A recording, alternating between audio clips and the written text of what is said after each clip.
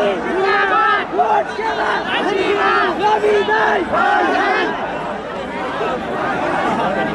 vamos, vamos.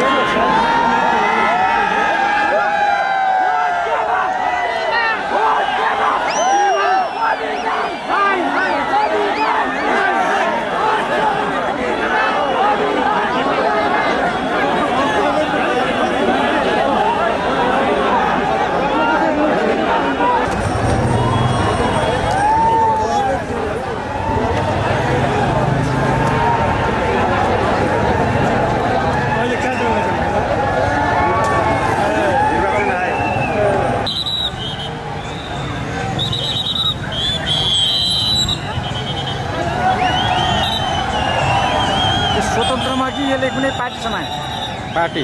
कुन party? स्वतन्त्र। स्वतन्त्र त स्वतन्त्र। नामै स्वतन्त्र। पार्टीको झन्डै नेपालको झन्डा। होइन। घन्टी घन्टी। पार्टीको रवि लाम्छाने चुनावमा उठ्ने अब।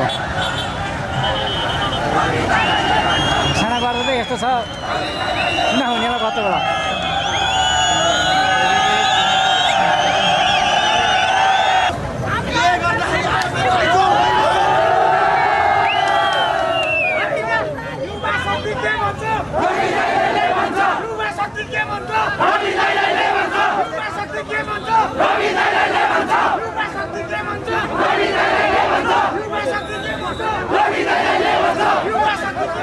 हुने होला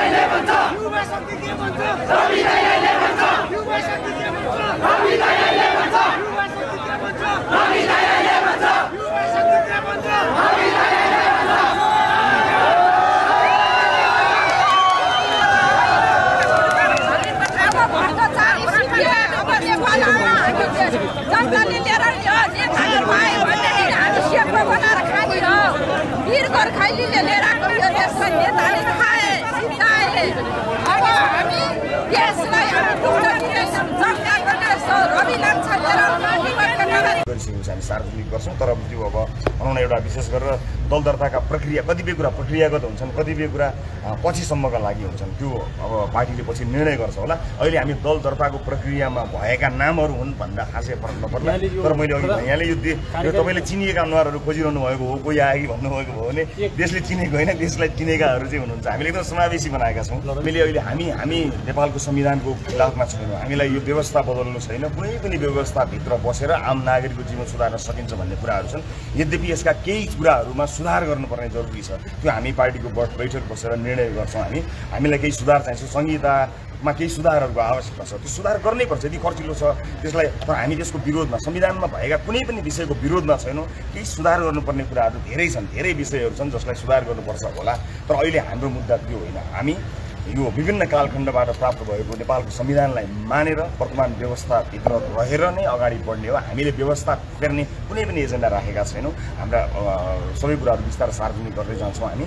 तर जनताको अवस्था फेर्नका लागि सुरु भएको हुनाले प्रत्यक्ष निर्वाचित कुरामा हामीले पार्टीभित्र प्रत्यक्ष निर्वाचित प्रधानमन्त्रीको उम्मेदवार प्र- पार्टी हाम्रो पार्टीका साधारण सदस्यहरूले चुन्नुहुन्छ। उहाँहरूले चुनिसकेपछि हाम्रो दलको प्रधानमन्त्रीको उम्मेदवारको रूपमा हामी चुनाव अगाडि नै जान्छौँ र हाम्रो उम्मेदवार हाम्रो प्रधानमन्त्री को हुँदैछ भन्ने कुरा हामीले पहिले नै डिक्लेयर गरेर जान्छौँ र हामीले डिक्लेयर गरेको प्रधानमन्त्रीले आफ्नो मन्त्रीमण्डलसहित चुनाव लड्नुहुन्छ हाम्रो पार्टीभित्र चाहिँ प्रत्यक्ष निर्वाचित प्रधानमन्त्रीको सिस्टम राखेका छौँ हामी प्राइमेरी देशको रूपमा चाहिँ हामीले संवैधानिक समाजवादलाई अङ्गीकार गरेका छौँ यसका व्याख्याहरू लामो छन् होइन? तर अब यी देशहरूमा नि के छ र नेपालमा कतिवटा एउटै पार्टी छैन सबै पार्टी जो जोसँग पनि मिलेको छ त्यस कारणले हाम्रो पृथकता हाम्रा हामीले जसरी यसलाई पार्टीलाई एउटा पुलको रूपमा यसलाई पृथक बनाउन खोजेका छौँ त्यसलाई हेर्नु होला तपाईँहरूले। विशेष गरेर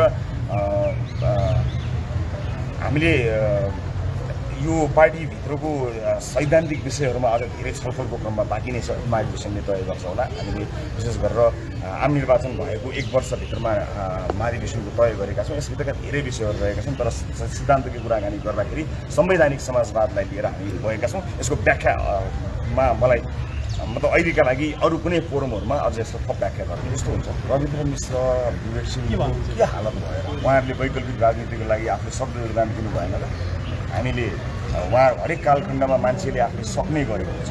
सक्ने चिज इमान्दारीपूर्वक उज्जवल थापाजीहरूदेखि लिएर त्यो मुभमेन्ट जुन चलेको छ त्यसमा इँटा थप्दै आउने क्रममा रविन्द्र मिश्र हुँदै अन्य स्वतन्त्र हामी सबै त्यही वैकल्प विकल्प खोजेर आफ्नो पेसाबाट बाहिर निस्केर आउनु परेको हो। त्यस कारणले उहाँहरूलाई म एकदमै डिफिटेड टिमको रूपमा डिफिटेड क्यान्डिडेटको रूपमा हेर्दै हेर्दै एजेन्डाले त कहिले पनि हार्दैन।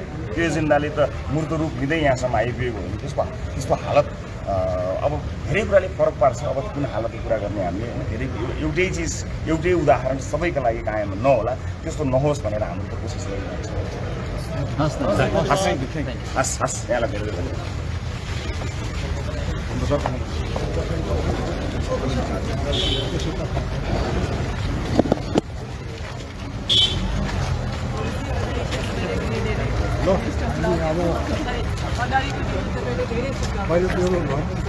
ए हस् धन्यवाद